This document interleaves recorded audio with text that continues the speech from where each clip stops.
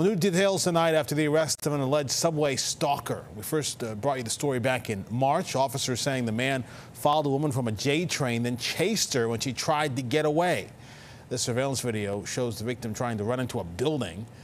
22 year old Jonathan Seguncia has been charged now with stalking and harassment.